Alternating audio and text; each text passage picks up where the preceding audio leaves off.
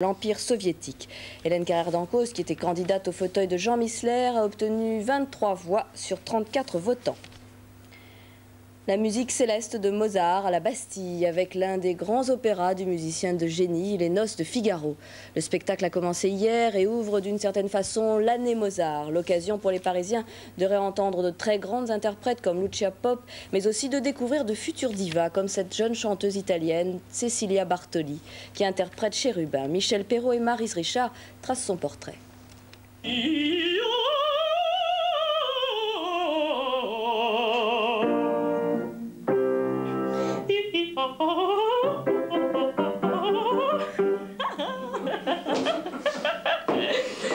Allez, on recommence.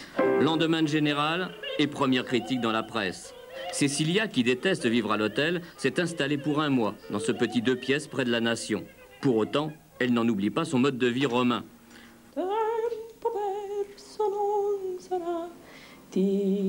Remarquée par les plus grands chefs, Karajan, Barenboim, elle est convoitée par les scènes lyriques internationales. À 24 ans, beaucoup la considèrent déjà comme une diva. Je me sens, c'est drôle, c'est alarmant, ça fait trop, ça fait, ça fait un peu vieux, je le sens pas dans les épaules. mais, mais est-ce que vous ambitionnez d'être une diva? Moi, j'aimerais de, de, faire de la musique, de donner de, de grands moments, de beaux moments à le public. C'est ça, s'appelle diva. Bon, alors, ok, d'accord.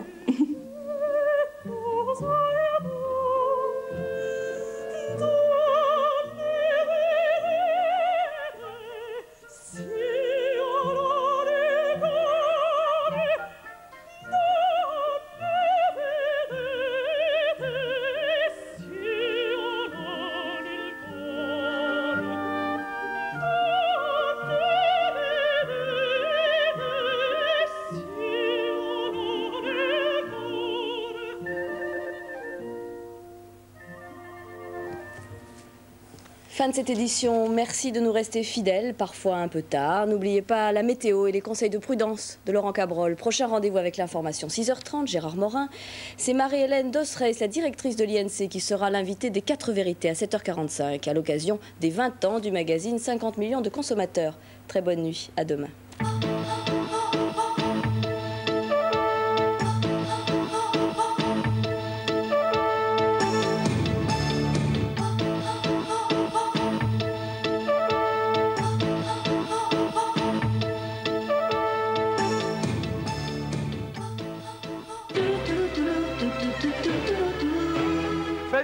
Chez vous. Eh ben, ça va être un beau bordel dans 5 minutes. Jean-Marie Au Bigard, quatrième étage, c'est l'appartement de Brigitte Bardot. Charlotte de Turckheim, Et merci beaucoup, hein, salut. Lagarde, Les Balkans, c'est les Albanais, les Tziganes, les Roumains. Autant vous dire qu'à l'époque, il y avait du monde au Balkan. Pierre Palmade, Sim vont réaliser toutes les bêtises dont ils ont toujours rêvé avant que le ciel nous tombe sur la tête. Avant que le ciel nous tombe sur la tête, vendredi 20h45 sur Antenne 2.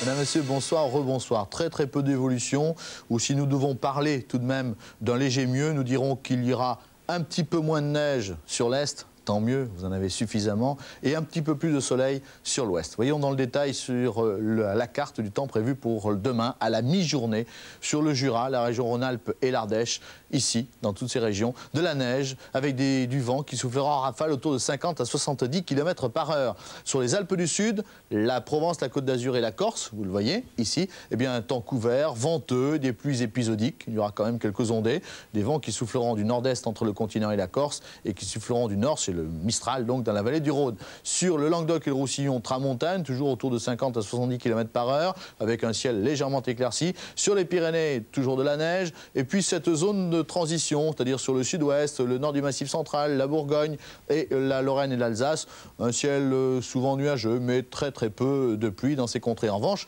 dans toutes les autres régions, celles que je n'ai pas nommées, la Bretagne, la Normandie, les Pays de Loire, la région parisienne, le Nord, le Pas-de-Calais, etc., etc., eh bien là, nous aurons un ciel souvent éclairci avec pratiquement pas de, pluie, même pas du tout de pluie, mais, mais tout de même des nuages souvent présents. Les températures, les voici pour le petit matin. C'est un temps froid, nous sommes en hiver et nous restons en hiver, enfin nous sommes en hiver, en tout cas en ce qui concerne les températures, si ce n'est le calendrier. Voici les températures du petit matin. L'après-midi, elles ne changeront guère par rapport à celles que nous connaissons en ce moment, entre 1 et 11 degrés. Telle sera l'oscillation du, thermomètre, une moyenne nationale de 2, 3, 4 degrés. Nous sommes quand même bien en dessous des normales saisonnières. Demain, eh bien demain nous fêterons les Odiles. Bonne fête Odile, avec un soleil qui va se lever à 8h38, se coucher à 16h52. Merci de nous avoir suivis. Bonne fin de soirée avec nous, si possible, sur Antenne 2. Au revoir.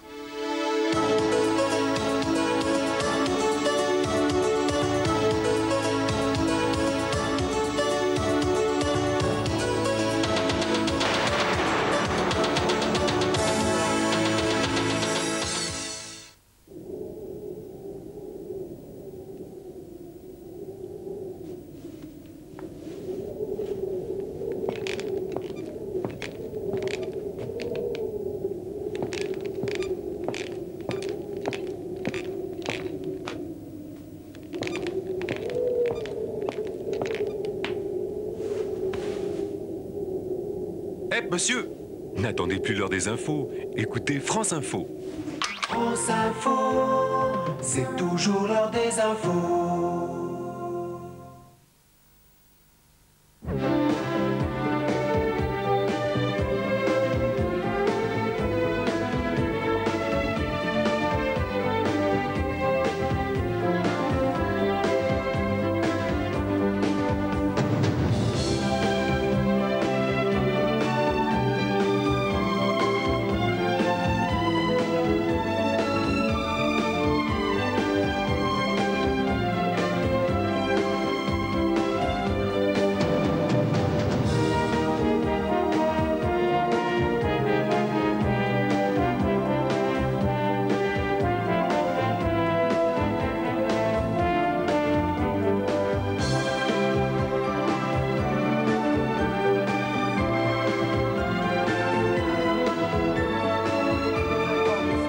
Ce soir euh, avec euh, Jean-Paul Lotte et Lionel Chamoulot.